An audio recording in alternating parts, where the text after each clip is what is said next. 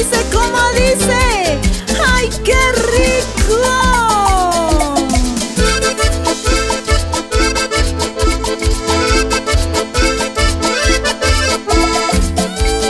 ¿Y cómo llora ese violín? Con sentimiento, maestro.